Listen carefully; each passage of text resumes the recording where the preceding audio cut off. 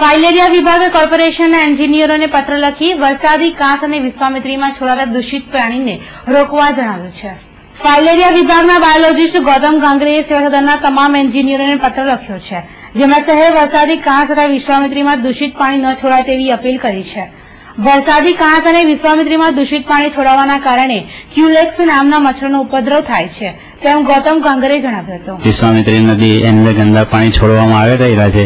એના કારણે ત્યાં ક્વિલક્સ પ્રકારના મચ્છરો જે ત્રાસદાયક મચ્છરો છે, એનો ફેલાવો થાય અને એ રોકવા માટે દરેક એન્જિનિયરિંગ વિભાગના ઝોનના કાર્યપાલક ઇજનેરને અમે અત્રેથી પત્ર દ્વારા જાણ કરી અને આ કામગીરી સત્વરે બંધ કરવા માટે જાણ કરેલ છે.